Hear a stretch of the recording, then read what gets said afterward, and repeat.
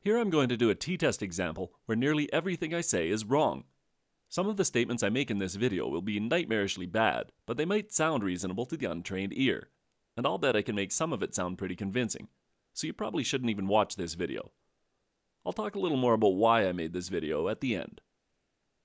Suppose I'm interested in the question, is the mean weight of cucumbers in my garden equal to 200 grams? To investigate this, I go to my garden, get four cucumbers from a plant, and weigh them. The mean weight of the four cucumbers is 214 grams, and the standard deviation is 25 grams. And suppose we want to carry out an appropriate hypothesis test to help us answer this question. Here we want to know if the mean weight of cucumbers in my garden is equal to 200 grams. And so we are going to test the null hypothesis that the mean weight is equal to 200 grams. What should we use for an alternative hypothesis? Well, as per usual, we have three options greater than, less than, or not equal to. But here, the mean weight of the four cucumbers in the garden is 214 grams, which is greater than 200 grams. And so, if this sample gives us any evidence against the null hypothesis, it's going to be that the mean is greater than 200 grams. So, that will be our alternative hypothesis. What about the significance level? Here we don't have a given significance level, and when we don't, we just pick alpha, our significance level, to be 0.05. We want to do a test on a mean, so we should be doing a t-test, but we need to ask ourselves a few questions first. Is it a simple random sample? I've gone out to my garden and picked four cucumbers. If I were to go out again and pick four cucumbers, I likely wouldn't pick the same four. I could have picked any cucumbers in my garden, so every cucumber had the same chance of being picked. So, yes, this was a simple random sample. Are the observations independent? Well, let's think about this. I took a cucumber, put it on a scale, and got its weight.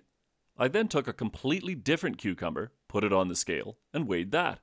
So, knowing what the first cucumber weighed tells me nothing about what the second cucumber is going to weigh. They were weighed independently, and the observations are therefore independent. Are the observations normally distributed? Although this is sometimes an important question in statistics, this is not an important question for a t-test. If we were doing a z-test, which is based on the test statistic being normally distributed, then this would be an important question.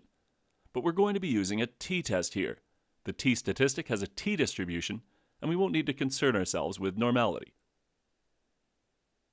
Here's our example once again.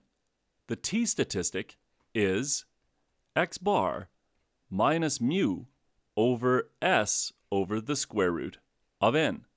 Mu is the true mean weight of cucumbers in my garden, and that's simply given here in the null hypothesis.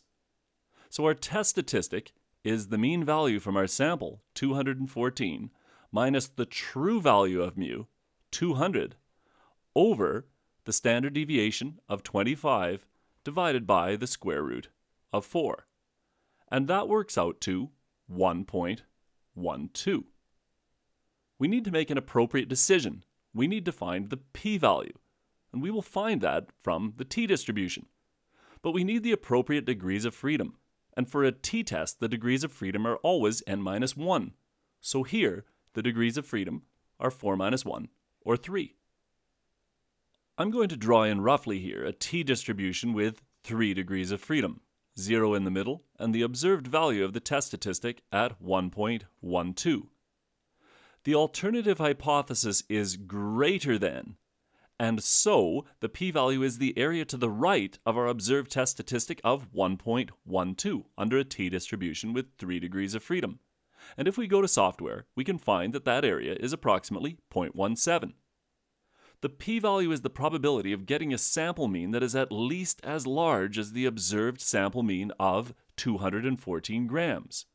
In other words, if I were to go out to my garden and get another four cucumbers, the probability of getting a mean weight of 214 grams or more would be 0.17. And since that p-value is greater than 0.05, we do not reject the null hypothesis.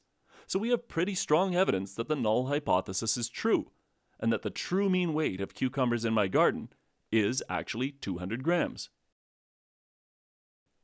Although you may have been able to spot some of the mistakes I made here, I'll bet that you didn't spot all of them. and I'll bet some of them even sounded pretty reasonable. Why did I make this video? There are many outstanding teachers providing outstanding resources online, but there's also a lot of people giving some pretty bad information. It can sometimes sound reasonable if you're not an expert, but it can be completely wrong and misleading. One of the mistakes in this video, putting the sample mean x bar in my hypotheses, was a terrible error, but it's something that I see all too frequently. So I strongly recommend that you get your statistics help from a reputable source.